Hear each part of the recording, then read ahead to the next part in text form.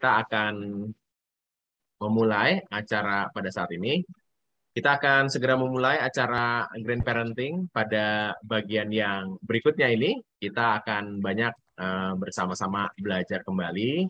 Dan kali ini kita akan ngobrolin banyak soal ada apa di sosmed cucuku ya.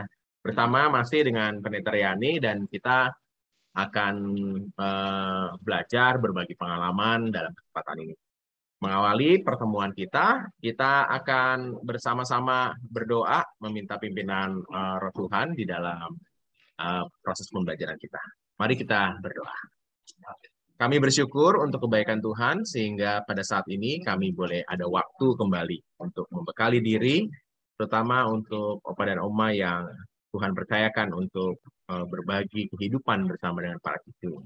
Berkati pendeta Riani akan menolong kami semua. Tuhan tuntunlah agar apa yang baik yang datang dari Tuhan boleh Tuhan berikan. Kami siap dalam Kristus. Amin. Amin. Langsung pendeta Riani untuk ya. berbagi kembali dengan kita. Terima kasih Pak Hendra, Bapak Ibu, Opa Oma, senang sekali bisa bertemu bersama-sama uh, karena uh, kita kalau onsite itu pasti nggak bisa ketemu ya dari iya. berbagai yeah. tempat nih ya dari uh, dari Jakarta, dari Jogja, dari mana lagi? Oh ada Cilduk Raya, ada Rempoa, ada macam-macam tempat. Mm -hmm. Tapi justru uh, dengan pertemuan seperti ini, kita tetap ada di rumah, tapi kita bisa belajar bersama. Semoga Bapak Ibu bisa sama-sama kita saling berbagi, karena nanti juga uh, saya beri kesempatan Bapak Ibu untuk sharing juga, sehingga kita bisa saling melengkapi satu dengan yang lain. Jadi, um, kita akan masuk dalam sebuah tema ada apa dengan sosmed cucuku gitu ya. Jadi maksudnya sebetulnya kita sering kali kan memegang um, gadget tapi kita uh, terbatas. Nah, kita punya cucu ini kok kayaknya kok seru banget gitu ya. Mata kayaknya saya udah pedes tapi kok dia bisa berjam-jam gitu. Nah uh, mari kita telusuri sebetulnya apa sih yang ada di dalam sosmednya dia gitu ya.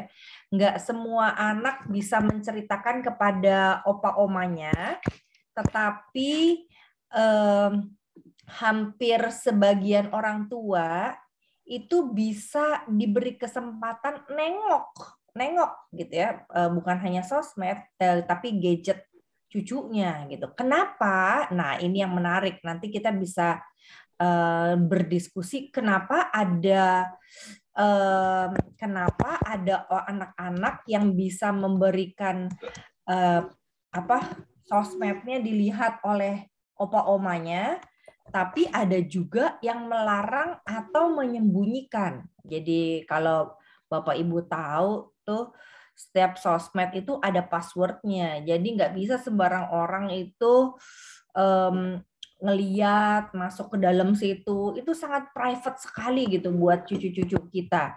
Nah, bagaimana nanti kita diskusikan. Nah, sekarang um, mari kita bersama-sama melihat firman Tuhan terlebih dahulu. Jadi saya mau mengajak Bapak Ibu, uh, Opa Oma untuk melihat satu bagian Alkitab yaitu dari Mazmur 90 ayat yang ke 12. Firman Tuhan mengatakan, "Ajar kami menghitung hari-hari kami sedemikian hingga kami beroleh hati yang bijaksana." Buat kita setiap hari berharga bukan untuk bisa mengisi hari dan menambah pikiran dan perasaan kita dengan hikmat Tuhan.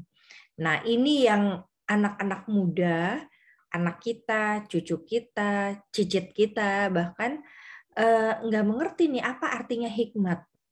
Jadi diperlukan opa oma yang punya hikmat, yaitu memahami apa yang baik, apa yang benar, apa yang berkenan kepada Allah, apa yang lebih baik dibandingkan yang kurang baik, untuk bisa akhirnya tahu oh ini toh yang namanya baik. Jadi opa oma punya peran di depan cucu-cucunya atau anaknya untuk eh, banyak berdiam diri. Jadi katanya semakin tambah usia, semakin diajak untuk speednya melambat untuk berpikir, memikirkan berulang-ulang, merenungkan sampai akhirnya menemukan sebuah hikmat. Jadi makanya sekarang uh, anak mantu cucu tuh kalau buka sosmed salah satunya mereka menyukai uh, hikmat, kata-kata hikmat. Namanya quotes atau kutipan. Jadi kalau kita lihat sosmed uh, cucu atau anak kita mereka masukkan kutipan itu berarti mereka membutuhkan hikmat. Nah, bayangkan kalau hikmat itu berasal dari opa-omanya, lalu dibikin secara um, menarik sehingga mereka bilang wow ini kata-kata opa omaku loh wah menarik sekali gitu ya jadi sangat butuh sekali opa oma menolong cucu-cucunya untuk mendapatkan hikmat. Kenapa? Karena pengalaman anak kecil, anak muda itu belum sampai mereka bisa mendapatkan hikmat, tapi mereka lompat dengan cari hikmat dari mana? Dari sosmednya, dari uh, gadgetnya. Nah, itu sebabnya kita perlu juga mengisi cucu-cucu kita dengan um, hikmat Tuhan dengan kata-kata bijak, bukan kata-kata yang panjang sampai anak-anak nggak tahu ini opa ngomong apa sih banyak banget, oma juga ngoceh-ngoceh terus gitu ya. Nah, uh, saya ingat Yusuf, Yusuf itu mengalami kekerasan di dalam hidupnya, tapi Tuhan ubah dirinya dan kepahitan hidupnya jadi kebaikan buat banyak orang. Nah, ini hikmat Bapak Ibu. Jadi kenapa opa oma dianggap orang yang paling banyak hikmatnya paling bijak karena punya pengalaman pahit, punya pengalaman tidak menyenangkan, sehingga dalam perjalanan pahit tidak menyenangkan itu muncullah sebuah kalimat-kalimat bijak sebagai pelajaran berharga yang sebetulnya bergunanya bukan hanya diri kita, untuk diri kita sendiri, melainkan untuk anak cucu. Hanya saja kalau terlalu banyak diceritakan atau dikatakan nggak kedengeran tuh sama anak cucu. Kenapa? Karena tantangannya adalah mereka bukan hanya menghadapi tantangan iman, gitu ya, walaupun Tuhan bisa ubah jadi kebaikan itu semua, tapi mereka juga mengalami satu fase di zaman ini di mana mereka hanya memiliki konsentrasi yang sangat terbatas akibat pelatihan dari gadget. Nah, kalau opa oma Bapak Ibu tahu dari gadget gitu ya. Jadi mari kita belajar berhikmat hadapi perubahan zaman ini. Apa perubahan yang terjadi? Anak-anak yang biasa menggunakan gadget gitu ya, dia enggak punya kebertahanan untuk uh, ada di sebuah tempat secara lama. Jadi kebayang ya kalau Bapak Ibu uh, melihat anak melihat melihat anak menggunakan gadget gitu ya, pegang gitu, dia bisa baru dua detik dia udah goyangin lagi, uh, udah slide lagi, udah cari lagi yang baru. Nah itu uh, pelatihan yang membuat anak-anak itu jadi sangat punya konsentrasi yang pendek. Nah kebayang kalau konsentrasinya pendek untuk menyaksikan video-video yang ada di dalam gadgetnya, lalu opa oma ngomongnya panjang dan lama gitu ya. Nah itu ditinggalin tuh di otaknya dia mungkin tampangnya lempeng ke kita gitu. Tapi secara pikiran dia sudah meninggalkan kita. Seperti dia meninggalkan gadgetnya pada waktu tayangannya itu freeze gitu. Jadi kalau dia setel sebuah tayangan, lalu tayangannya itu nggak bergerak atau membosankan, dia cepat ganti slide, slide, slide, slide. Nah itu yang dilakukan kalau uh, opa-omanya ngomong. Jadi udah di slide aja di otaknya dia, udah deh nggak usah dengerin, nggak usah dengerin. Makanya kenapa ya cucu saya kalau diajak ngomong kok suka goyang-goyang, suka ke sana kemari nggak konsentrasi karena dia punya konsentrasi sangat pendek gitu. Nah jadi eh, kenapa itu terjadi? Karena kekayaan pengalaman mereka mendive atau menelusuri eh, apa eh, dunia gadget. Nah mari kita lihat apa yang ada di sana, Bapak Ibu. Jadi kita perlu hikmat ya untuk melihat dulu dengan satu uh, dengan satu hal baru yaitu yang namanya nah ini uh, multiple intelligence. Apakah Bapak Ibu tahu yang namanya multiple intelligence? Jadi multiple intelligence itu adalah kecerdasan ganda. Kalau dulu kita kan suka bilang gini, anak ini pinter nih. Kalau yang ini nggak terlalu pinter, kenapa rankingnya jelek gitu ya?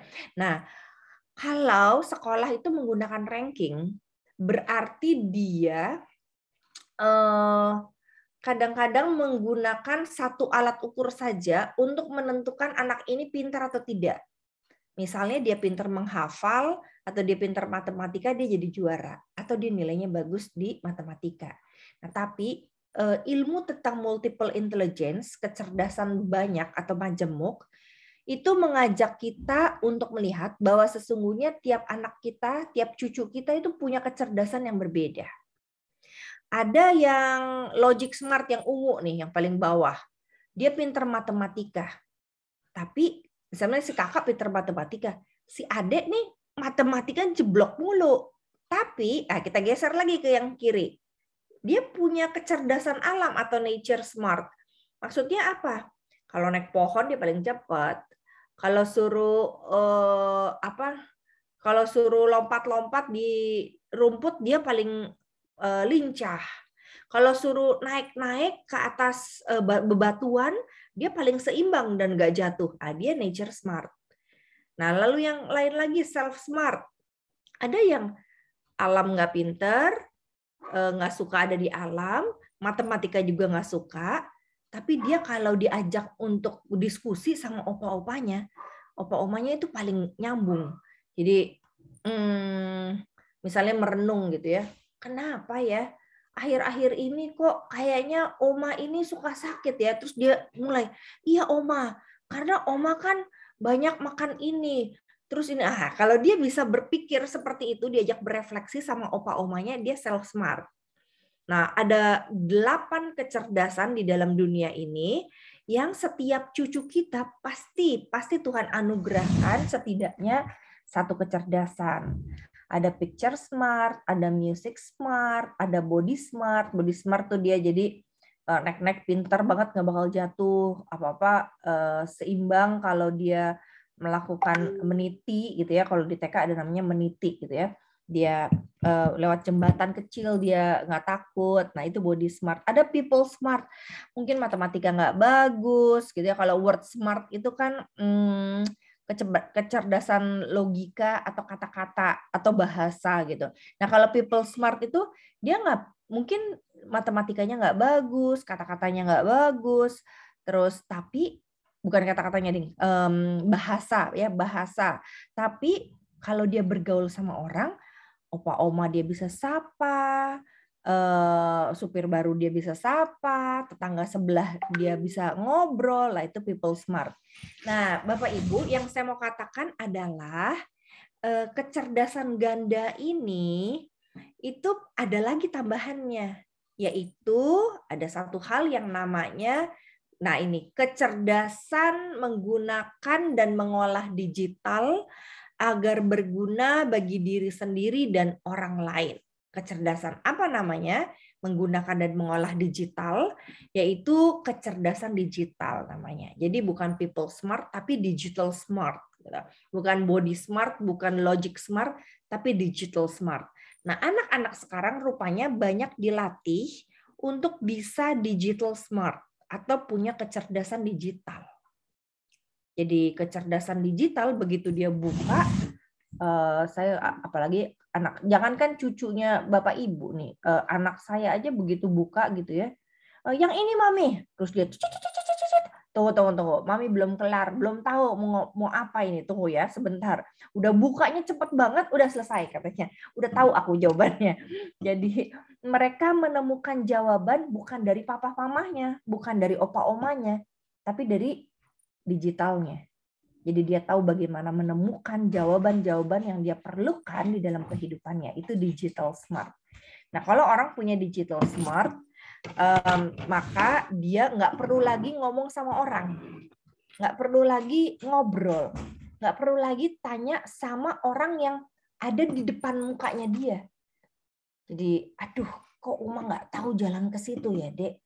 Oh, saya tahu Uma. Langsung dia buka, saya tahu jalannya belok kanan belok kiri. Ya, itu digital smart. Dia tahunya dari digital. Nah bapak ibu maka itu ada kuliah khusus namanya kecerdasan digital gitu.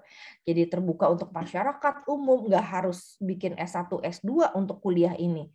Untuk apa? Untuk semakin dianya uh, cerdas tapi juga dia bisa memahami orang-orang cucu-cucu anak mantu yang cerdas secara digital. Maka kadang-kadang aduh suka cucu-cucu aduh omah nggak bisa diajak ngomong omah nggak nyambung gitu ya. Kenapa? Karena kecerdasannya berbeda nih. Oma kecerdasannya people mungkin kecerdasannya alam senang melihat gunung tapi dia kecerdasannya diajak ke gunung ke pantai ke luar negeri ke dalam negeri ke daerah e, melihat pemandangan indah nggak bisa. Dia indahnya itu kalau ada di, di, di digital.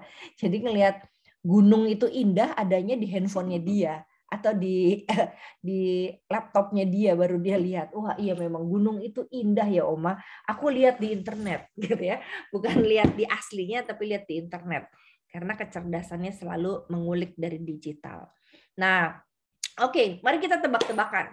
Untuk kita tahu di dalam digitalnya atau di sosmednya atau di uh, di gawainya si anak-anak kita ini atau cucu-cucu kita ini ada apa sih? Coba nomor satu ya.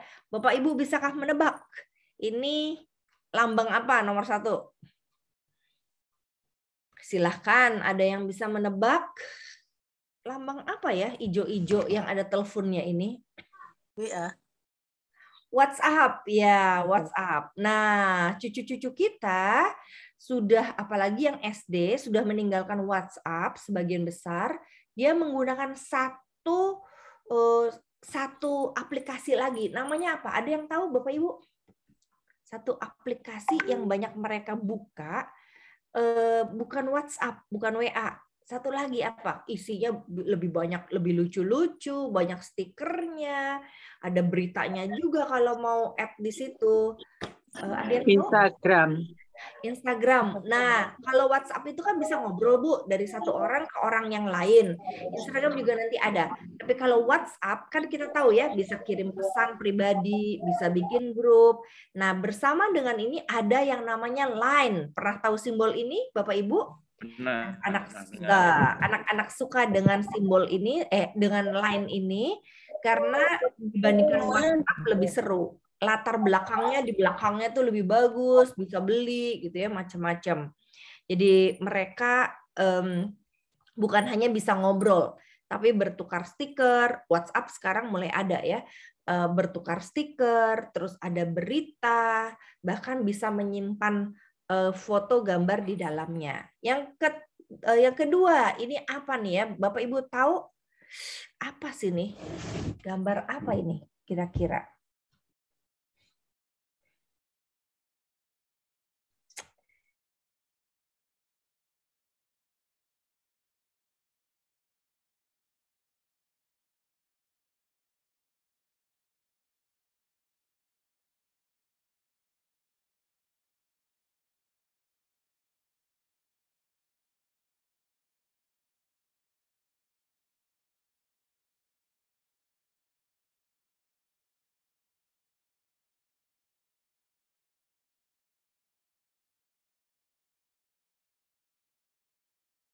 Anak-anak atau orang dewasa bisa daftar gitu dengan fake account. Fake account itu apa?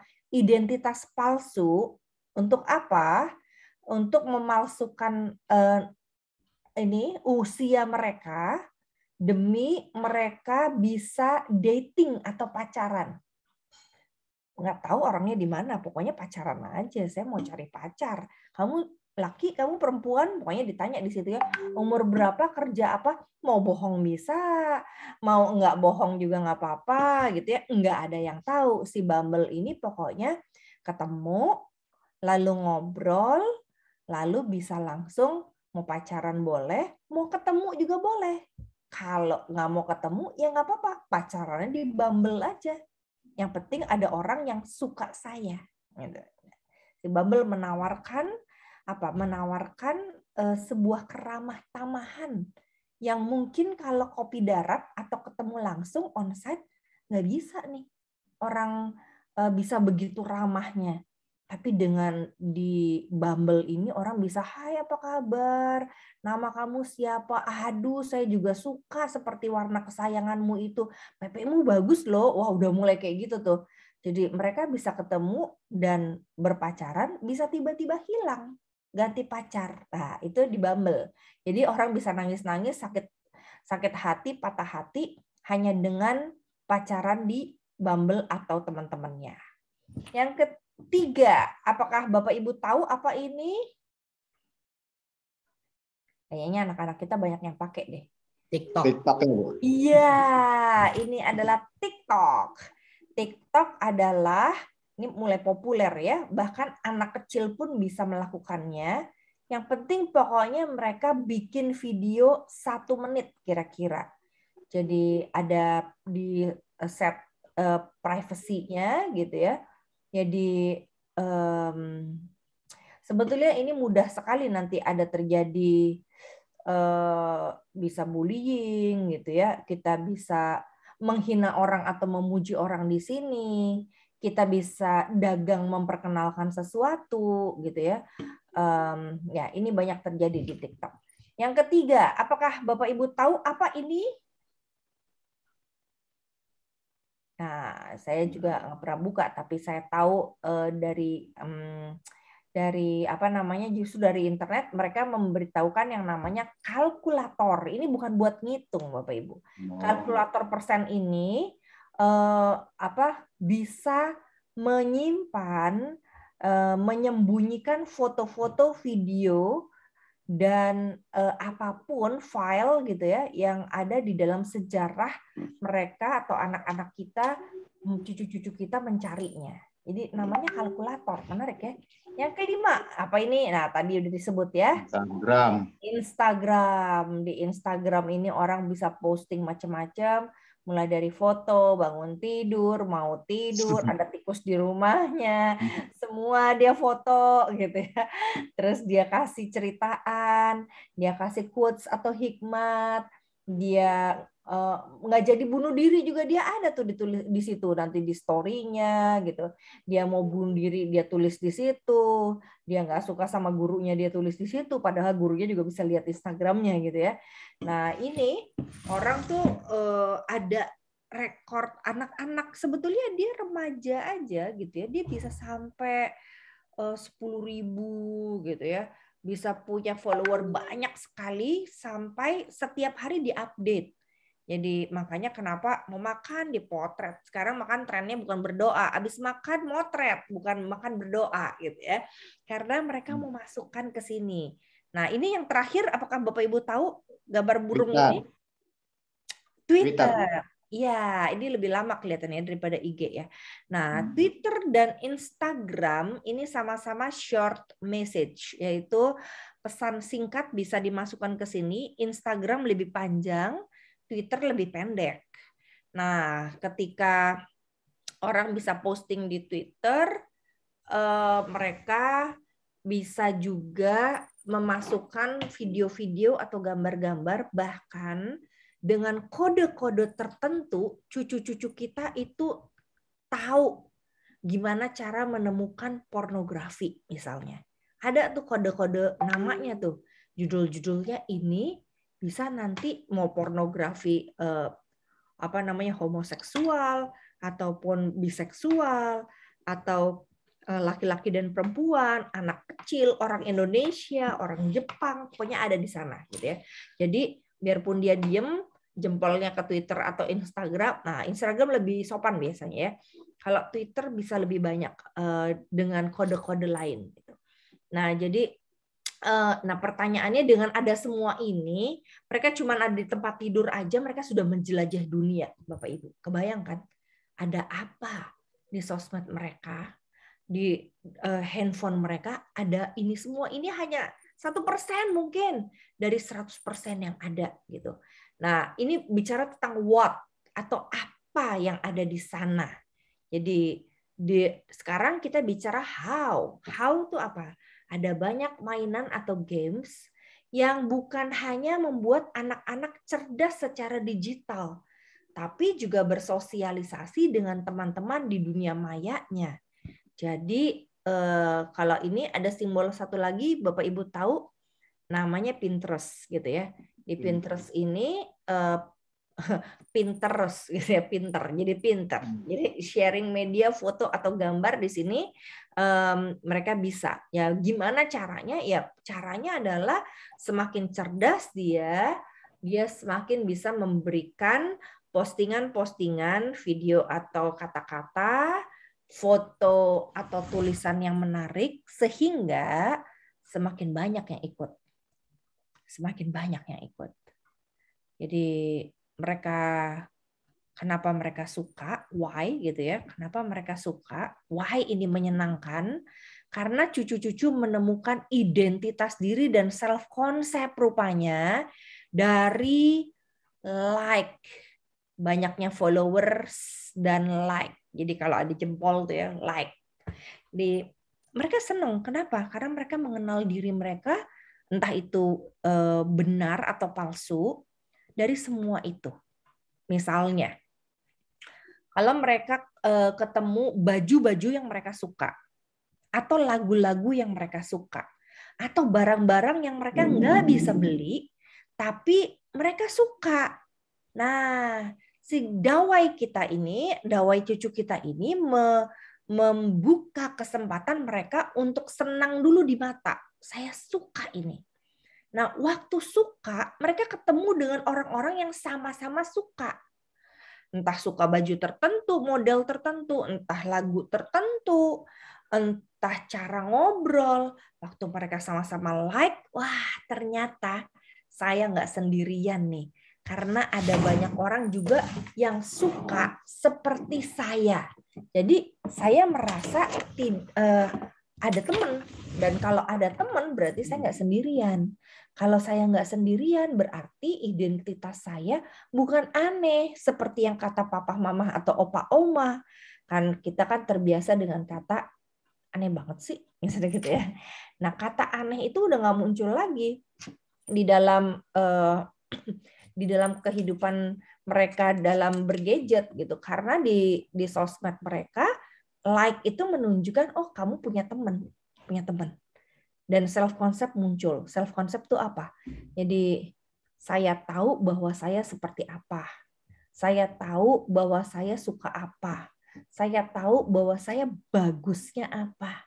Dan muncul tuh seribu like aja, 200 like aja dari orang yang nggak dikenal sama dia, dia mulai punya harga diri.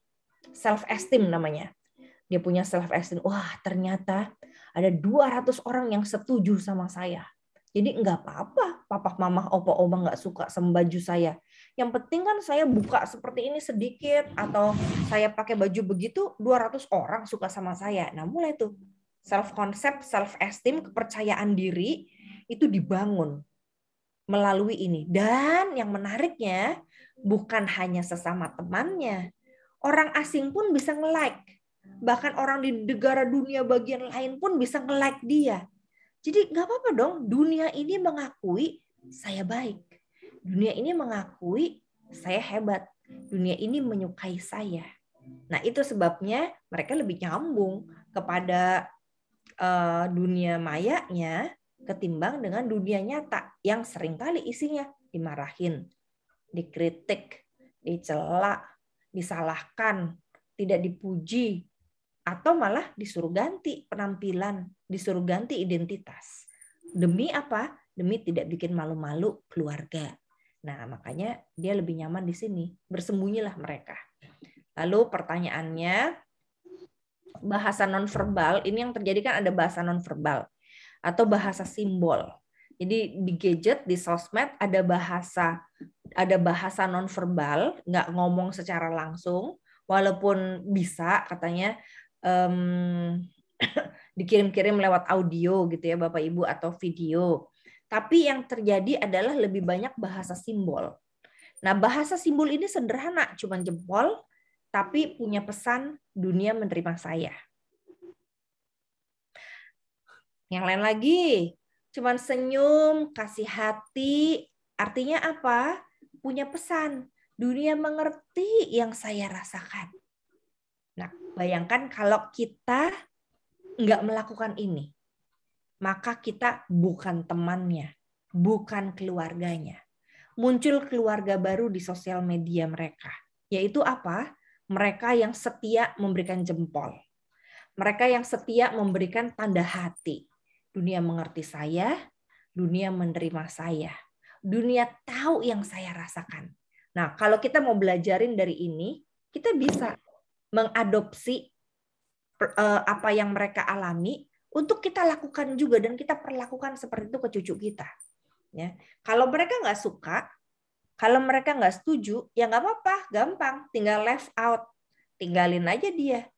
Udah akrab satu tahun, ngobrol bareng malam-malam, ngechat setiap malam, eh kita berbeda, udah left out aja. Saya juga nggak tahu dia ada di mana, gitu ya. Tinggalin aja udah. Begitu mudah. Jadi bahasa simbol atau bahasa verbal mau mengatakan saya mudah menghilang kalau nggak setuju. Ini gampang sekali. Maka riskan sekali ya kalau mereka masuk dalam dunia nyata. Tinggalin aja udah. Yang keempat, nah ini menarik ya. Katanya uh, di dalam dunia ini setiap hari, setiap hari loh Bapak Ibu, di dalam dunia ini setiap hari ada 7 miliar, bayangin, 7 miliar orang kirim audio. Mau menunjukkan apa? Nggak usah lelah berkomunikasi. Yang penting kamu ngomong aja. Ngeri ya.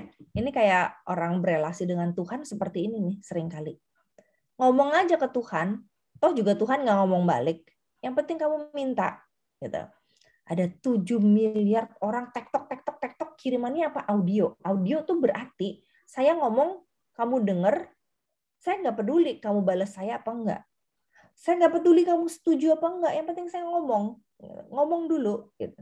Kalau kamu nggak setuju, ya ya udah kamu delete aja kata-kata saya. Kalau kamu nggak setuju, kamu mau kirim audio ke saya, saya nggak denger juga nggak apa-apa kan. Gitu. Nah ini komunikasinya terputus akhirnya. Ya udah nggak usah lelah kalau nggak bisa, kalau nggak nyambung diemin aja. Nanti juga dia diem sendiri. Kalau kita nggak jawab, diemin aja, nanti dia juga ngomong lagi. Nah, ini bahaya. Ini bahaya mengintip di dunia digital. Jadi di satu sisi kita lihat sisi kiri dunia menerima, dunia mengerti, dunia um, merasakan, ikut merasakan rupanya yang saya rasakan. Nah, tetapi di sisi lain, ah, kalau saya give up, saya nggak setuju, saya hilang aja ngapain juga melanjutkan komunikasi? Nggak perlu juga kan? Kenapa? Karena kalau saya nggak mau ngomong atau dia nggak mau ngomong, ya kita berhenti ngomong aja. Nggak ada yang suruh kok. Gitu ya. Jadi tidak ada ikatan. Ini dunia tanpa ikatan. Tapi dunia yang menyebar ke seluruh dunia. Gitu ya. Jadi, nah di Amerika, nah, gimana cara menyikapinya ya? Jadi kan how ya. Sekarang how, bagaimana menyikapinya. Kalau di Amerika, saudara ada kategori rating video game. Jadi selain sosmed, jadi di dalam gadget cucu-cucu kita tuh ada game kan. Nah, untuk game, kalau kalau sosmed kita nggak bisa uh, diaturnya itu hanya dengan usia. Jadi dia bohong nggak apa-apa, nggak ketahuan, bukan nggak apa-apa, nggak ketahuan, sehingga dia daftar-daftar aja. Nah, bicara game ini dunia yang berbeda. Jadi bukan hanya sosmed, mereka juga bisa eh, bersosialisasi melalui game atau melalui permainan. Nah, kalau di Amerika supaya eh, mereka bisa eh, disaring gitu ya, nggak bisa main semuahan karena ada juga permainan-permainan yang pornografi, kekerasan, sangat tidak sopan sehingga mengisi pikiran dan perasaan anak dengan kata-kata dan ide-ide yang tidak menyenangkan atau yang merusak. Nah, di Amerika ada rating video gamenya. Jadi katanya ada jenis video untuk early childhood. Jadi kalau anak-anak kita punya anak usia dini di bawah tiga tahun, ya kliknya yang early childhood. Yang kedua, everyone katanya. Ada game untuk semua orang boleh main. Oh, berarti aman. Yang ketiga, ada everyone yang 10 tahun ke atas. Yang keempat, ada khusus untuk eh, remaja udah 13 tahun ke atas. Jadi nggak bisa kalau dia 13 tahun ke bawah ikut main, kurang baik, kurang ngerti, kurang sederhana. Nah, itu ada ratingnya. Jadi kalau eh, di sini anak-anak bisa main mana aja, soalnya kan pakai gadget mamahnya juga atau papahnya ya. Jadi bisa main macam-macam. Padahal waktu mereka ngelihat sesuatu, Misalnya seperti ada seorang anak gitu ya umur 4 tahun. Mamanya lupa ngejagain ratingnya ini. Uh, yang kelima baru untuk orang yang dewasa 17 tahun ke atas. Dia lupa tuh, jadi umur 4 tahun kalau nggak salah. Tiba-tiba dia buka situs pornografi. Udah tiga bulan mamanya baru lihat, aduh di dalam sejarahnya. Kok ternyata Nggak ada suaranya ya? Oh sorry. Ada, ada. Kedengeran Pak? Ya, apakah kedengaran? Kedengeran Bu. Oke, nah ketika anak itu eh, eh, ketahuan tiga bulan, lah ternyata anak saya udah nonton pornografi. Terus tanya, kenapa kamu nonton yang seperti ini? Oh, karena ini menyenangkan, mami katanya. Jadi mereka nggak punya saringan tuh, karena orang tuanya lupa. Nah ini penting sekali orang tua punya saringan. Jadi bagaimana cara mengatasinya supaya anak-anak kita tidak terlalu jauh melangkah? Ya orang tua perlu saringan. Uh, opa oma kalau tahu perlu saringan. Tapi hati-hati, nanti kita bicarakan ya. Jangan sampai menyaringnya itu jadi menakutkan. Sehingga mereka juga sembunyi-sembunyi. Jangan-jangan handphonenya juga dikasih password supaya opa oma nggak bisa buka gitu. Nah ini kan lebih uh, membuat kita uh, tidak tahu apa yang mereka sedang lakukan dan uh, kerjakan gitu. Jadi uh, kenapa pakai rating? Kenapa pakai rating? Karena cucu-cucu belum bisa secara matang mempertimbangkan mana yang nyata dan mana yang nggak nyata. Sehingga akhirnya uh, mereka nggak tahu tuh ada orang-orang yang punya motivasi tidak baik di balik sebuah keramah tamahan semu atau sebuah permainan. Jadi makanya pakai rating. Di permainan game ini untuk dewasa, untuk uh, teens atau remaja. Kenapa? Karena memang di balik itu ada kekerasan. Uh, kekerasan kalau yang dilakukan dialami oleh orang dewasa mungkin bisa buat katarsis atau uh, apa menolong dia pemulihan sementara. Tapi kalau anak-anak itu kan dia bisa imitating, beda pelajaran nih. Dia bisa meniru Nah, motivasi ini akhirnya dijagain dengan rating. Oke, jangan sampai ya anak-anak dapetin ini. Karena kalau di sosmed dia bisa ngomong dengan siapa aja, lalu pernah ada satu uh, sosmed gitu ya, ada YouTube uh, seorang anak remaja uh, dia mau ngedate sama seorang bapak-bapak gitu ya. Nggak taunya pas dia lihat ajakin ketemu bapaknya dia gitu ya. Bapaknya main juga anaknya main juga gitu ya. Jadi ngedate bareng. Jadi ketahuan deh gitu ya dua-duanya sedang mencari teman. Nah ini keramah tamahan semu kan? Karena kita nggak tahu siapa dia jadi perlu ada rate perlu ada eh, penjagaan dari orang yang lebih tua apa yang mereka lakukan ini. Nah akibatnya bagi anak apa Eh, kalau mereka nggak dijagain, nggak pakai rate, nggak pakai usia, nggak diketahui oleh opa oma, apalagi cucu-cucu ada di rumah gitu kan, sebetulnya ada dalam pertanggungjawaban kita, mereka ngalamin gangguan emosional. Kalau bapak ibu atau opa oma pernah lihat anak yang begitu dikasih gadget lalu gadgetnya diambil saat makan, saat tidur dia bisa teriak-teriak, ini dia udah punya gangguan emosional jadi begitu nggak dikasih gadget dia teriak-teriak atau nangis-nangis dia punya gangguan emosional. Eh, kenapa dia punya gangguan emosional? Karena di dalam struktur otaknya, jadi struktur otak itu Bapak Ibu ada yang namanya amigdala nih di belakang eh, di belakang kepala ini. Nah, si amigdala ini eh, menyimpan pengalaman-pengalaman yang berkaitan dengan rasa. Nah, bermain gadget sekali enak, enak, enak. Si amigdala ini menyimpan perasaan enak yang akhirnya jadi nyandu. Sehingga waktu dia buka gadget enak. Buka gadget enak. Coba eh, nggak usah jauh-jauh cucu deh ya, anak kita. Misalnya suka IG atau bapak ibu suka WhatsApp. Nanti tiap satu dua menit atau lima menit buka lagi WhatsApp, buka lagi IG, bisa buka lagi Facebook gitu ya. Kalau orang tua pakainya Facebook ya, anak-anak udah nggak banyak yang pakai Facebook. Buka lagi Facebook, Kenapa? Karena uh, otak kita ini memberitahu kepada kita kalau buka itu enak. Jadi buka lagi enak, buka lagi enak, buka lagi lama-lama nyandu. Nah, Sehingga ketika yang enak itu dicabut atau diambil, langsung kita perasaannya nggak menyenangkan kan? Maka terjadi gangguan emosional.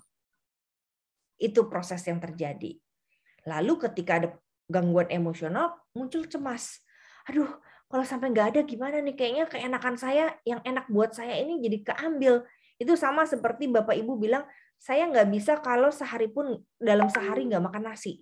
Itu karena di otak kita udah bilang nasi itu enak Ya padahal kan yang penting ada karbohidrat sedikit gitu kan kalau semakin tambah usia.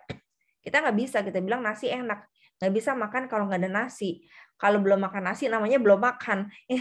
Itu kan ada di dalam amigdala kita yang mengatakan makan nasi enak, makan nasi enak, makan nasi enak. Nah sama seperti anak eh, cucu-cucu kita.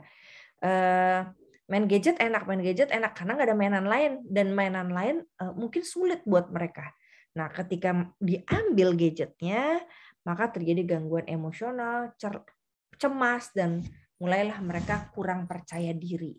Karena apa? Karena biasanya kalau dia bergantung pada sesuatu atau seseorang, begitu sesuatu atau seseorangnya diambil, dia rasa ada yang kurang dalam diri dia. Maka eh, percaya dirinya akan berkurang. Nah, jadi hati-hatinya seperti itu. Yang keempat, ya ini terjadi keterikatan. Khususnya keterikatannya bukan hanya dengan games, tapi dengan pornografi dan kekerasan. Ini yang paling bahaya. Yang kelima, terjadi miskin komunikasi relasi dengan yang nyata atau yang real. Jadi Bapak Ibu, kalau anak-anak dan cucu-cucu kita semakin terhanyut di dalam eh, pengalaman menelusuri tenggelam di dalam eh, dawainya, main sosmed, ngobrolnya enak di sosmed, akhirnya komunikasi dengan orang yang nyatanya ini semakin miskin. Nah, ini yang kita perlu siasati bersama nih. Bagaimana supaya komunikasi kita tetap baik dengan cucu-cucu, relasi kita tetap baik dengan cucu-cucu, sekalipun kita merasa gap generationnya, generasi gapnya itu sangat besar sekali, mungkin 50 tahun, 60 tahun gitu. Tapi sebetulnya bisa nggak ada kok harapan supaya komunikasi dan relasinya menjadi lebih baik gitu ya.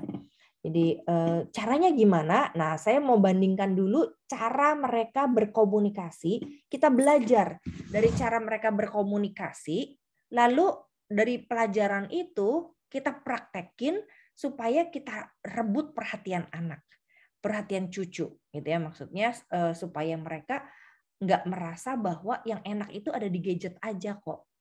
No, supaya mereka tahu, ah ternyata sama opa oma juga enak loh, juga seru gitu ya. Nah, seperti apa cara mereka berkenalan? Ini cara mereka kenalan ya. Jadi salah satu contoh ya. Di sebelah kanan ya, percakapannya gini. Hai, senang sekali kenalan dengan kamu, katanya gitu ya. Lalu dijawabnya, oh nama saya Alex, katanya di sini ya. Oh, kamu bisa memanggil aku Rose katanya ya nama saya Rose gitu oh dia bilang apa kamu Rose oh ya kamu bisa panggil aku Rose katanya. Ah Rose saya suka sama kamu. Lihatin tuh cara ngobrolnya tuh. Baru dalam beberapa detik aja.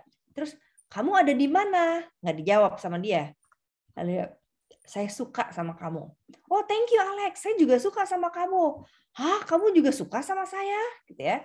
Iya, kalau kamu memberi damai di pikiran saya, saya mau. Gitu ya. Oh, kalau gitu mari, ayo kita jadi pacar.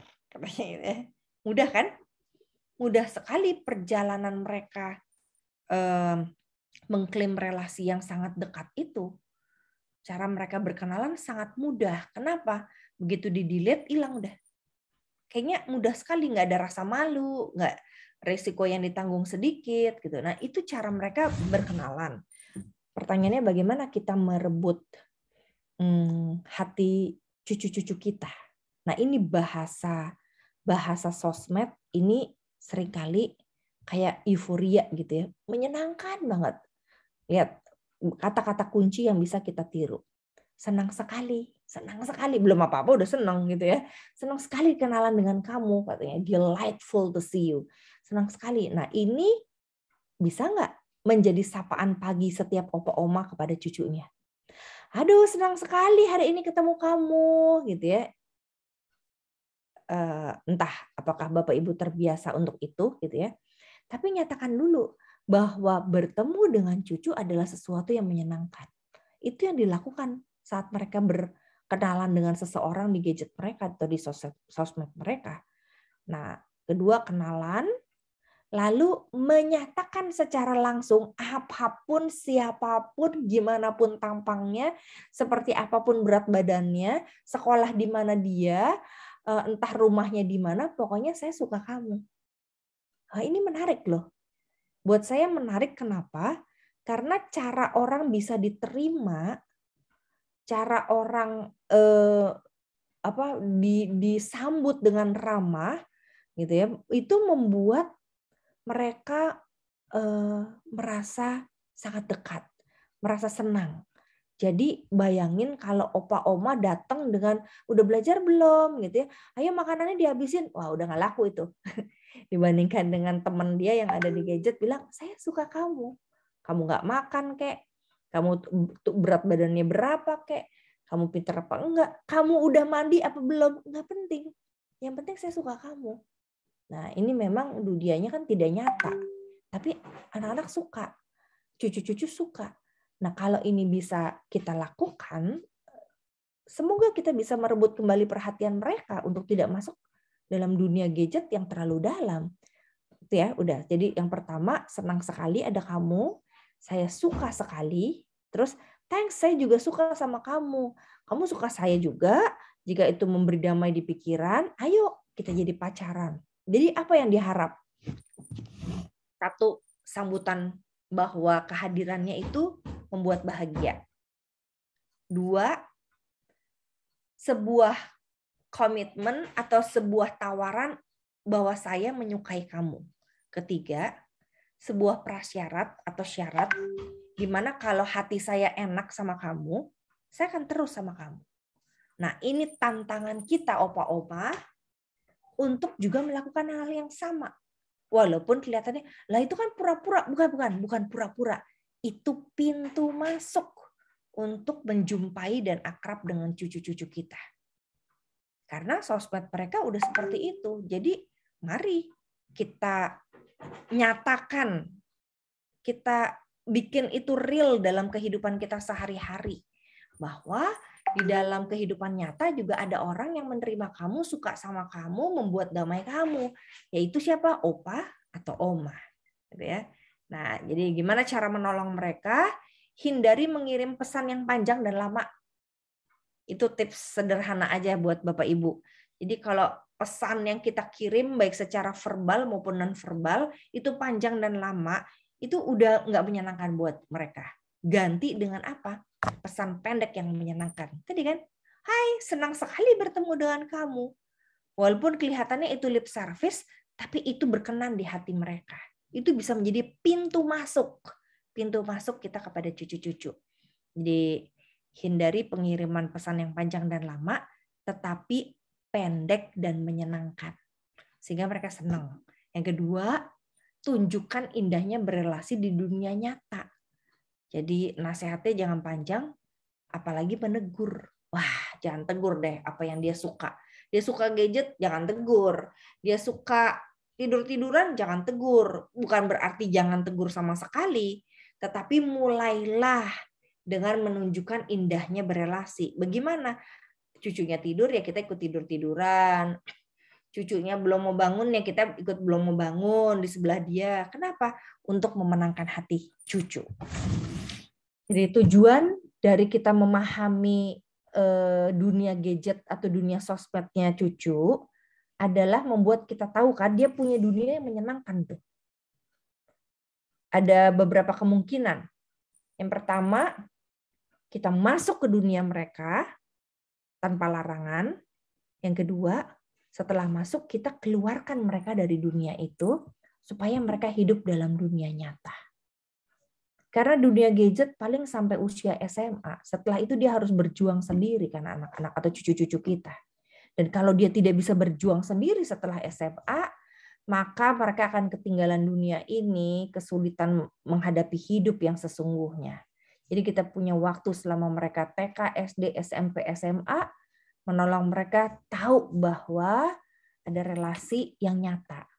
Jadi salah satu tips lainnya adalah ajarkan mereka bahasa perasaan, Bapak Ibu.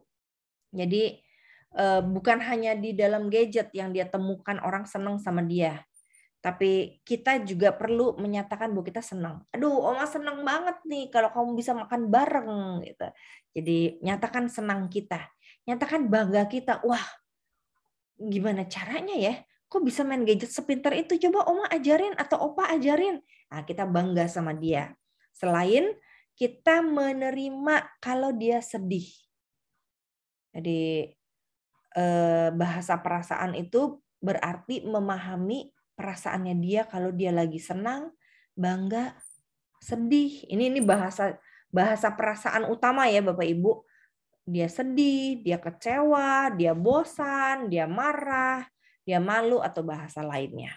Nah, kalau Bapak Ibu setiap harinya bisa menduga, bisa menebak, bisa eh, memahami perasaan cucu kita dengan bahasa perasaan ini, maka dia bisa jadi mulai mulai oke, okay, saya butuh opa oma nih. Mulai membutuhkan opa omanya dibandingkan dia pelarian ke gadget. Jadi kalau kita mengerti, oh dia senang, oke kayak senang sama oma, bangga, bangga sama opa. Oh, kamu sedih, sini dipeluk sama oma. Kamu kecewa, opa akan tolong. Eh, kamu bosan, yuk kita cari yuk apa yang paling menyenangkan. Kamu marah, ya udah marah sebelah opa ini. Opa nggak marah kok. Atau oma nggak marah kalau kamu marah.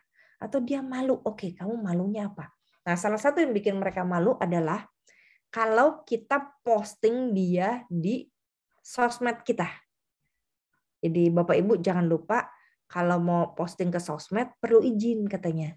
Eh boleh nggak Oma eh, masukin ke FB nih, FB-nya Oma nih sama cucu Oma. Waduh Oma jangan, aku lagi jelek tampangnya di situ. Ya ganti sama yang dia mau gitu ya. Jadi eh, kita perlu merasakan yang dia rasa sehingga dia juga tahu bahwa kita temannya. Um, itu yang paling penting. Jadi walaupun mereka ini cucu udah mulai gede gitu ya fotonya, walaupun mereka ngobrol-ngobrolannya di gadget, mereka akan mau masuk obrolan dunia nyata kalau kita mengerti dunianya dan kita menerima perasaannya. Nah, ini dari saya. Uh, adakah pertanyaan dari Bapak Ibu? Selamat menelusuri mengenal dunia sosmed mereka dan akhirnya memahami apa yang mereka rasakan saat menjalani hari-hari ke depan. Gitu ya. Tuhan memberkati. Eh, ada pertanyaan dari Bapak Ibu? Silahkan. Silakan Bapak Ibu kalau ada pertanyaan ya. Ini eh, kontennya berkenaan dengan eh, pengertian kita terhadap gadgetnya, tapi juga bagaimana bersikap pada anak-anak yang nggak bisa dipungkiri ya hidup mereka di gadget ya begitu. Uh, saya menemukan kata kuncinya ya Kak uh, Riani bahwa ya. penerimaan dan hmm, ada sebuah apresiasi dengan apa yang dia lakukan. Mungkin kita belum paham ya, tapi setidaknya membangun relasi dengan cucu-cucu itu penting banget. Silakan, uh, Opa dan Oma, Bapak dan Ibu kalau ada yang mau uh, meresponi, ada yang berbagi juga pengalaman, silakan ya. Ya, saya Pendeta Indra. Ya. Silakan Pak Bambang ya. Ya. Um, materi ini sangat uh, pas sekali dengan situasi keadaan uh, psikologis dan relasi uh, cucu sama opa oma ya karena memang uh, apa kemajuan teknologi ya. Jadi memang eh, ada segi positif, ada segi negatifnya. Nah, pada saat Pendeta Riani tadi menjelaskan eh, mendeskripsikan tentang amigdala tadi, eh, itu saya teringat cucu saya ya. Yeah. Opa Oma itu saya kadang-kadang sangat bangga, sangat bahagia, sangat senang sekali ya melihat mendengar eh, apa yang dilakukan cucu, apa yang eh, dinarasikan cucu, ya, itu kadang-kadang ya membuat senang, bahagia. Tapi pada saat yang lain membuat eh, opa oma itu sedih, khawatir dan ya menangis dalam hati. Ya, ya. Nah itu begini uh, uh, Ibu Pendeta Ariana. Mm-hmm. Mm-hmm. Saya itu uh, kelas 4. Kami punya cucu dua, kelas 4 sama TK. Mm-hmm. Papa mamanya kerja, jadi kalau pulang itu sudah sore ya, sudah sore. Kadang-kadang sampai setengah tujuh, setengah delapan. Jadi tinggal sama uh, uh, uh, uh, apa uh, asisten rumah tangga. Mm-hmm. Nah, uh, Eh, kebetulan anak saya uh, itu papa mamanya anak saya itu ya sedikit agak uh, tahu tentang gadget gitu. Hmm. Nah, lalu diproteksi ya, diproteksi dari kantor. Hmm. Sehingga apa yang menjadi kesukaannya dia lalu diputus oleh papa mamanya gitu. Nah, terus narasinya aduh kami sedih sekali ya. Mm-hmm. nggak senang ya nggak nggak senang ya punya orang tua itu ya lalu uh, mamanya lu kok begitu ya ya mau kalau mau main game mau anu diputus ya terus pernah satu kali pagi hari cucu yang kecil yang masih TK itu telepon kami nangis ya, ya kakak mama kok nggak anu buka mm-hmm. uh, apa itu koneksinya ini dia mau sekolah ya, terus kami terpaksa nelpon mamanya eh, kami tinggal di Jogja mereka tinggal di oh. Semarang itu oh, nah, iya. uh, uh, gimana itu apa solusinya atau tanggapan Lalu? kita ya ya, ya. Oh, Baik, Pak, terakhir, Pak. Bambang. Boleh diulangan yang bagian terakhir, Pak Bambang? Bagaimana oh, iya. cara mensiasati? Oh uh, ya, ya bagaimana gitu ya? um, itu menanggapi lalu solusinya bagaimana dan uh, kok bisa Gimana seperti Pak yang terakhir? Mm -mm, ya. Mm -mm. Ya bagaimana solusinya gitu anu Pendeta Riana. Riani ya. Ya, terdengar kan? Ya, terdengar Pak. Jadi Karyani ya, ya. ini uh, apa opanya hmm, sering dijadikan uh, tempat pengaduan oleh cucunya karena ya, mungkin ya, akses untuk uh, bersama orang tua terbatas dan berkenaan dengan kebutuhan-kebutuhan digital si cucu sendiri ya. Gimana nih cara mengatasinya Kak? Silakan Kak.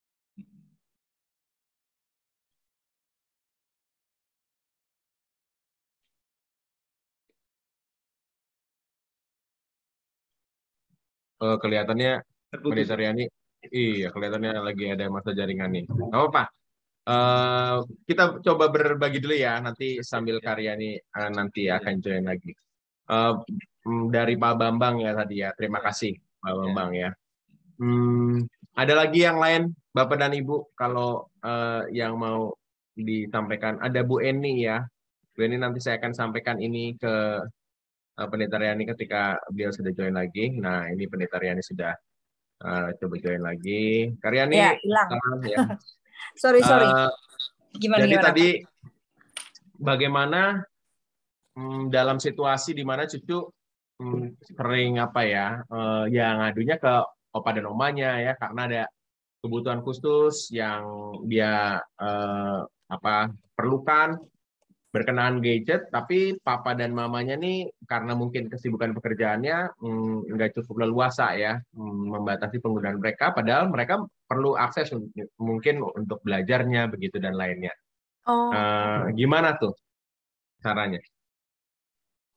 Ya, jadi mereka punya keterbatasan. Uh, Oke, okay.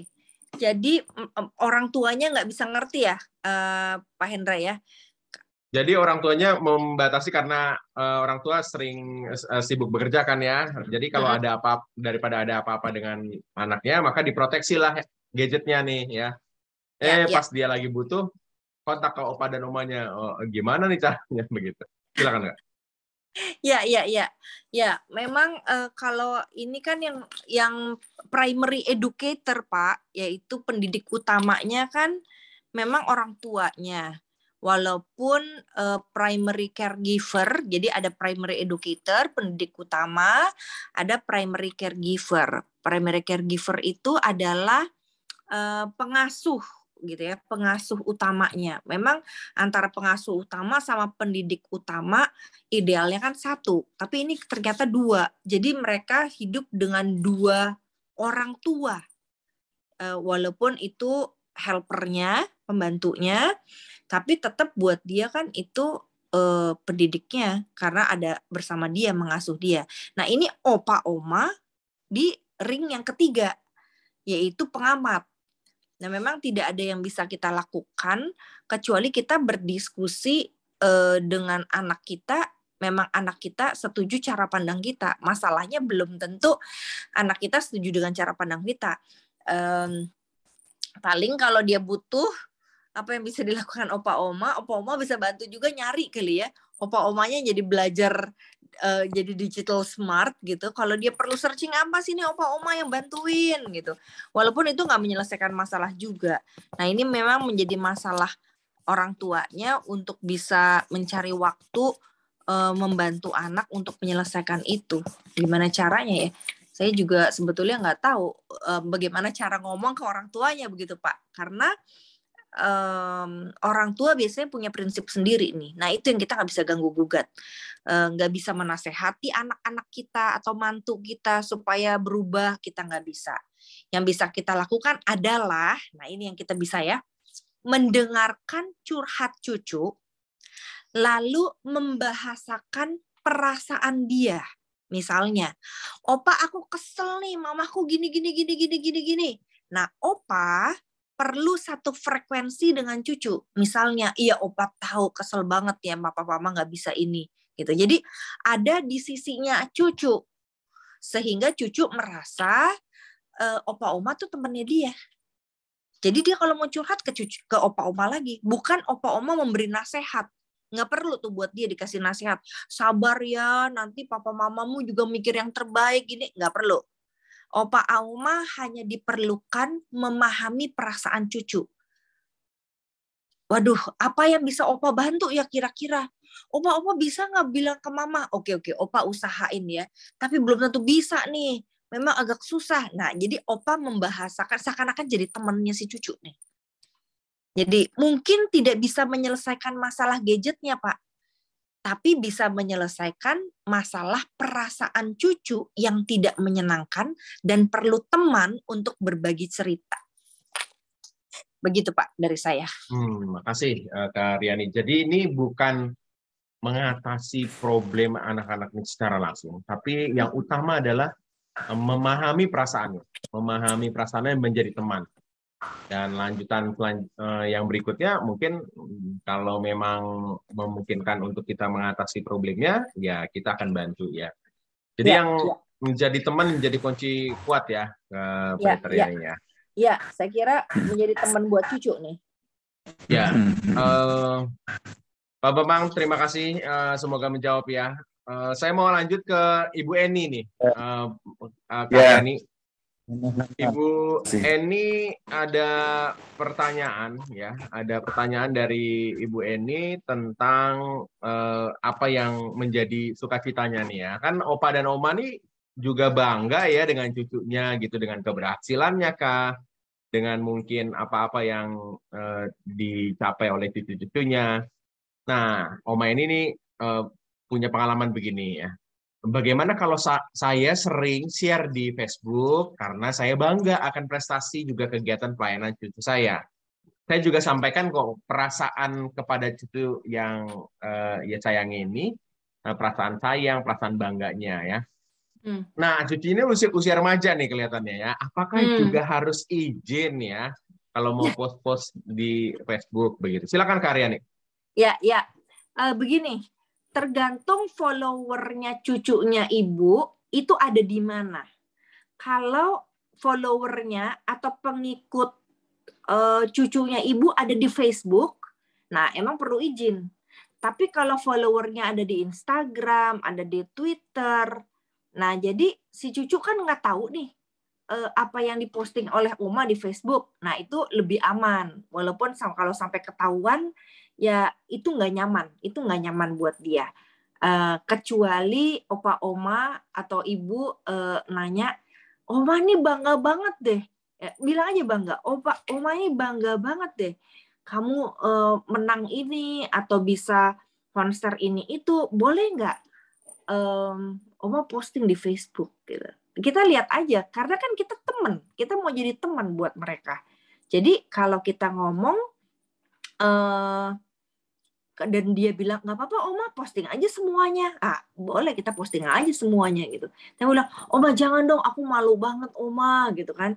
Sebab di situ biasanya dia connect tuh bu. Di situ ada mamahnya si itu. Ah dia bisa tuh. Kecuali buat dia cuek kalau tipe cucu ibu tipe yang tidak terlalu banyak feeling atau perasaan bawa ke perasaan eh, nggak uh, apa-apa gitu. Tapi kalau dia pakai perasaan, dominan perasaan, dia uh, perlu perlu dimintain izin gitu. Karena rasa malu, rasa tidak percaya diri, rasa bangga itu muncul dari foto-foto yang ditayangkan. Uh, gitu. Jadi kita perlu tahu dulu cucu ibu tipe yang seperti apa nih, Bu. Hmm. Gitu? Ini ini pentingnya Karyani bahwa um, di dunia digital ini mm-hmm. penghargaan soal privasi menjadi penting juga. Walaupun itu adalah cucu kita, dia bukan kita ya, yeah. uh, maka mendapatkan izin itu penting. Nah, um, saya uh, sedikit berbagi nih ya Karyani ya. Kadang yeah, kita yeah. tuh posting itu uh, mungkin itu tentang kita, bukan tentang cucu kita ya. Mm-hmm. Yang kita posting itu sebenarnya uh, uh, ini mau menunjukkan ini loh saya, keluarga saya sebenarnya bukan mengapresiasi cucu, jangan-jangan nih ya, ini uh, Opa dan Oma bisa kritis ini ya, benar salahnya apa yang kita lakukan di media sosial tuh tentang cucu kita atau tentang kita, gitu ya. Itu ya. itu sesuatu yang bisa diperdalam juga. Makasih Karyani. Bapak dan ya. Ibu, kalau ada yang mau bertanya, menanggapi lagi secara langsung silakan. Kalau ada yang mau ditambahkan. Ya. Ibu Ciani. Selamat malam ya. Salam ya, kenal. Saya dari Surabaya. Oh iya Bu. Iya, eh, kebetulan saya ini hidup dengan anak single parents dengan empat cucu. Satu rumah dua cowok dua cewek. Eh, beberapa waktu ya mungkin baru dua bulan ini anak saya udah bekerja. Jadi saya yang harus eh, apa dampingi mereka saat-saat ini dalam keseharian mereka. Khususnya ya yang paling berat buat saya itu online, school online. Tapi yang harus saya hadapi. Dan waktu dengan mamahnya itu saya agak biar mamahnya yang mengatur. Tapi kemudian setelah mamahnya bekerja, yang saya nggak tahan itu gadget. Mereka nggak ada berhentinya megang gadget.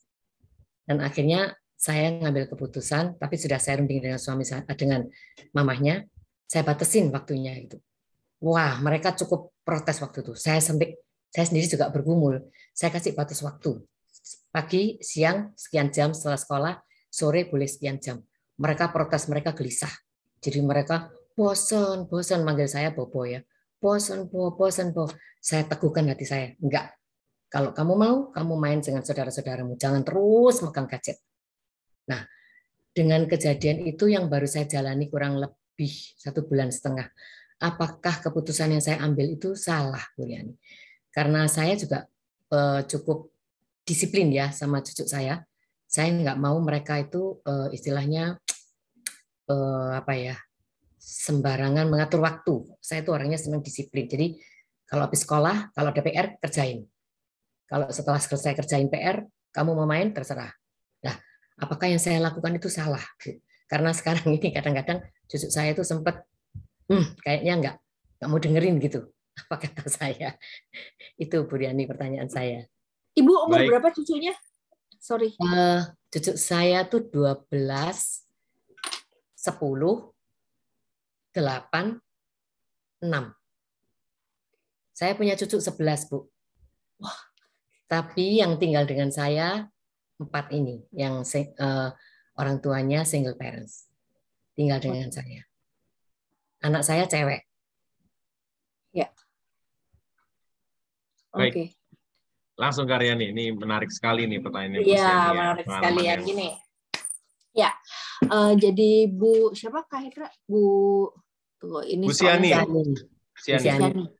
Bu Shani ya. Ya, ini ganti gadget soalnya saya uh, nggak ada sinyal.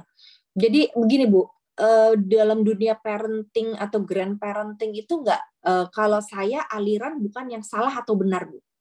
Tetapi apa dampaknya ketika kita mengambil keputusan atau mengambil sebuah gaya atau kita melakukan sesuatu. Jadi semua punya dampak, semua ada konsekuensinya.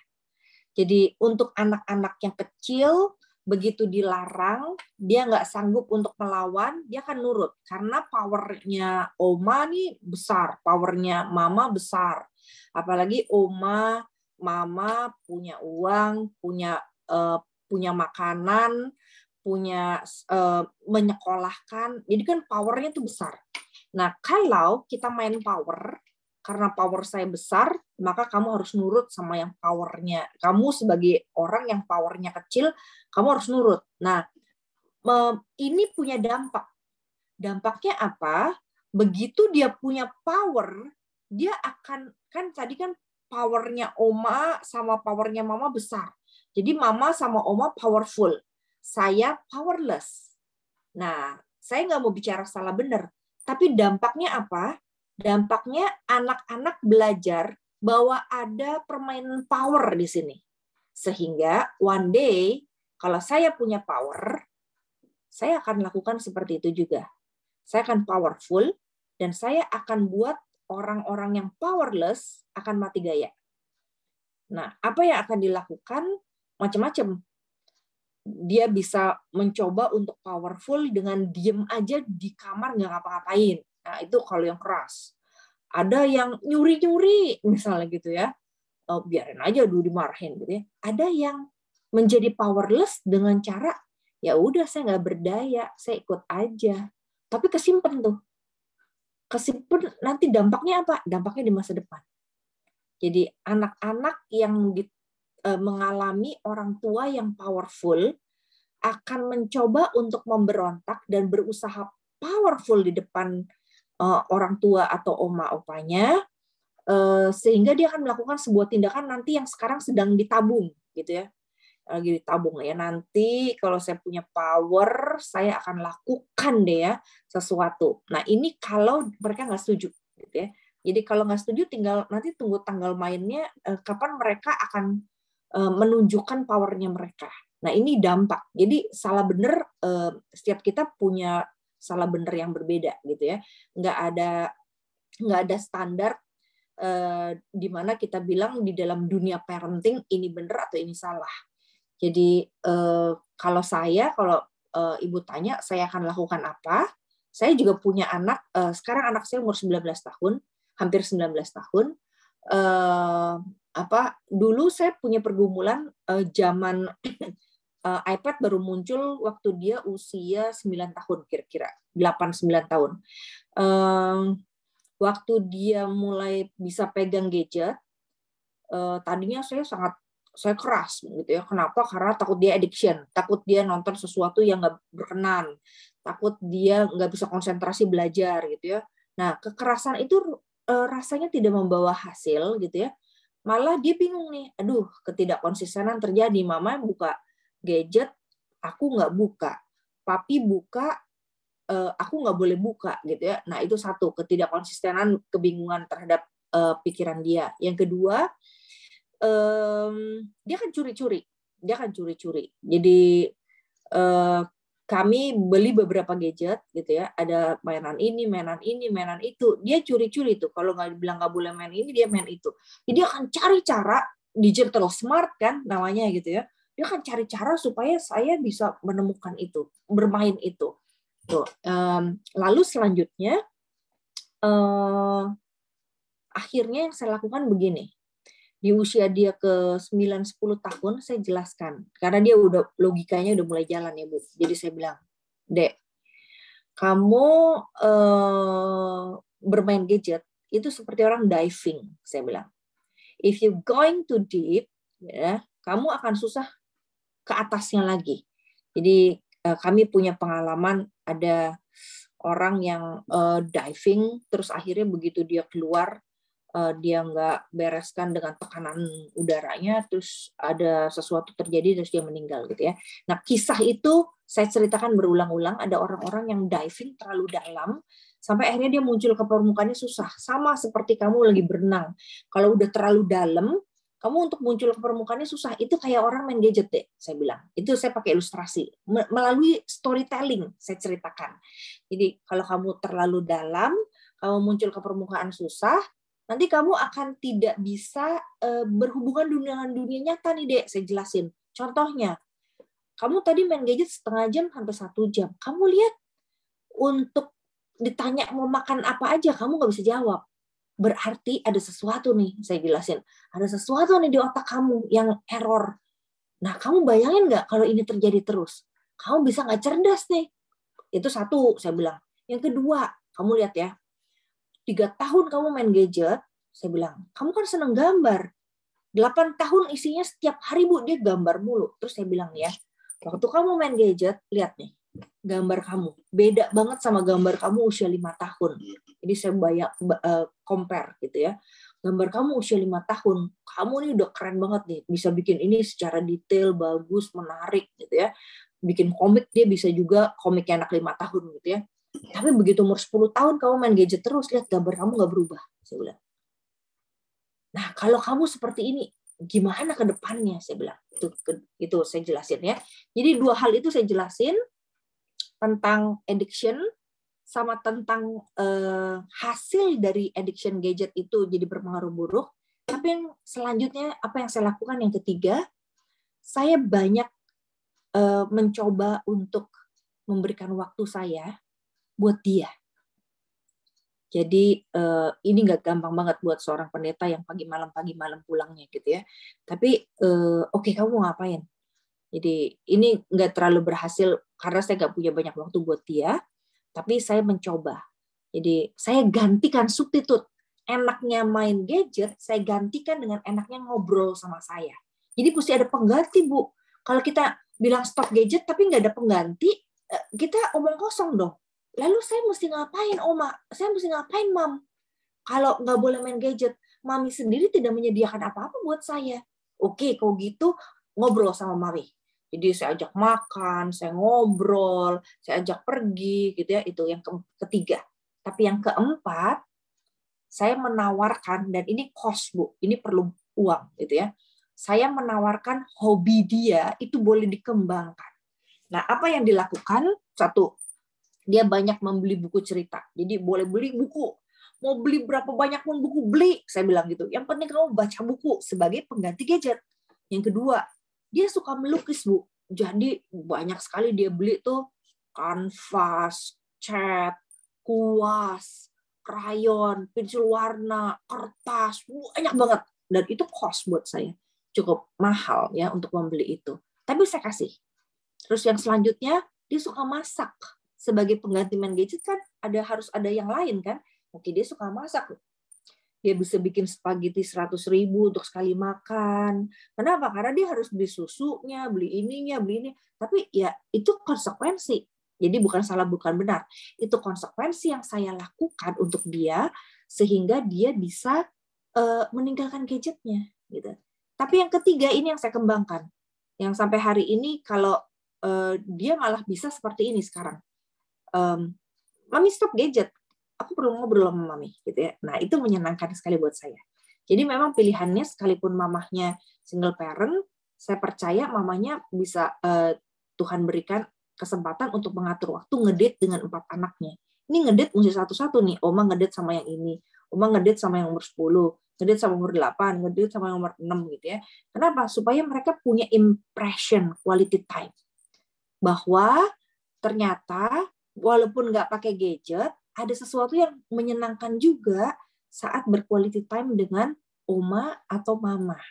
Nah itu penggantinya dari uh, pengganti dari tidak bermain gadget. Gitu. Ya. Yang kelima, dia perlu tempat teman bersosialisasi.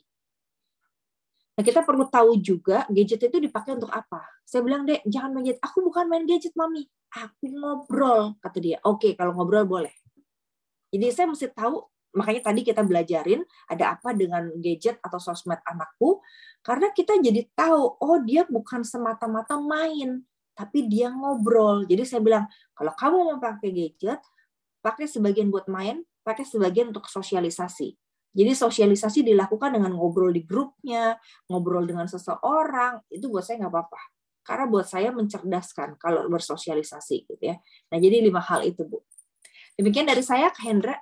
Terima kasih Karyani, Bu Siani. Semoga ini memberikan ya. uh, informasi dan tips-tips ya. Ya, terima kasih Bu. Bu Siani semoga Bu. juga nanti bisa berbagi pengalamannya setelah uh, melakukan proses ini. Ada lagi Bapak Ibu yang mau sampaikan Bu Kiswati. Bu Kiswati dari Filantropi. Silakan Ibu Kiswati. Terima kasih, selamat sore semuanya. Okay. Uh, uh, dari kecil cucu-cucu memang bersama saya.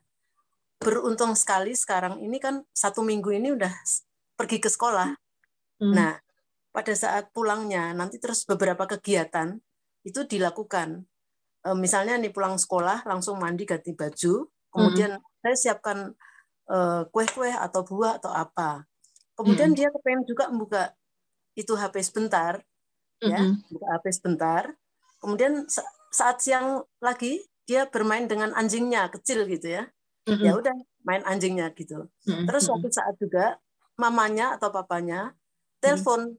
mungkin ada PR atau apa hmm. untuk segera dilakukan. Terus dia nurut mengerjakan tugas-tugas itu tadi.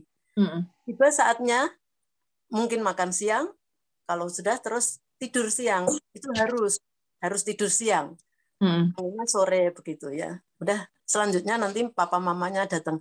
Nah begitu kami di rumah ini saling mengatur waktu mm untuk cucu-cucu tadi. Jadi tidak harus selalu memegang HP terus gitu. Mm Demikian terima kasih. Terima kasih Bu untuk kesaksiannya. Terima ya. kasih Bu Kiswati ya. untuk berbagi ya. ya apa yang dilakukan. Bapak Ibu satu satu lagi ya, adakah uh, Opa dan Oma yang mau berbagi? Silakan kalau ada, uh, saya berikan kesempatan untuk uh, Opa dan Oma berbagi. Ya. Boleh, kalau nggak uh, ada, kita cukup ya. Uh, kita cukup dulu untuk kali ini ya. Okay. Minggu depan kita akan ketemu lagi. Kita akan ngobrolin jauh lebih dalam. Dan yang ini, hmm, ini ini penting banget ya. Kita mungkin punya rasa sayang, kita punya eh, sesuatu yang kita anggap baik kita perlakukan kepada cucu-cucu kita. Tapi ternyata mungkin saja apa yang kita anggap baik itu adalah sebuah uh, kekerasan kepada anak ya. Kita akan ngomongin itu kita ngomongin soal hmm, bagaimana kita melakukan proses child abuse prevention. Nah, kalau kita tahu apa-apa saja kekerasan yang ada, maka kita bisa dengan hati-hati untuk menjalaninya. Yang kita sangka baik, mungkin saja itu adalah sesuatu yang kurang tepat. Maka minggu depan kita akan berbagi bersama lagi dengan Pendeta Riani dan Eh, kami berharap juga Bapak dan Ibu punya banyak pengalaman yang bisa memperkaya materi kita. Karyani, seperti biasa, saya boleh minta Karyani untuk menutup kita dalam doa. Oke, mari kita bersama berdoa. Mari Bapak Ibu kita berdoa. Bapak di dalam surga anugerahkan kepada setiap kami hikmatmu, sehingga kami boleh bukan hanya menjadi opa dan oma yang merasakan Tuhan sayang kepada kami, tetapi menunjukkan sayang juga kepada cucu-cucu kami. Bahkan dengan hikmat Tuhan, kami boleh e, menjadi sahabat yang baik buat para cucu. Khususnya ketika mereka bergumul untuk terikat pada gadget mereka dan tidak melihat bahwa dunia lain juga ada dunia yang lebih indah, dunia yang menyenangkan dalam dunia bersosialisasi, dalam dunia bersama dengan keluarga, dalam dunia berelasi dengan orang-orang di sekitar. Kami berdoa anugerahkan hikmat kepada kami untuk bisa mengisi waktu cucu-cucu kami dengan pengalaman waktu berkualitas sehingga kami boleh memenangkan hati mereka dan mereka boleh menikmati indahnya hidup bersama dengan keluarga melalui kehadiran kami juga. Berkati Bina Warga yang memfasilitasi terus uh, perjalanan grand parenting ini agar semakin banyak opa-oma mendapatkan berkat. Terima kasih Bapak, ini doa kami. Dalam nama Tuhan Yesus kami memohon. Amin.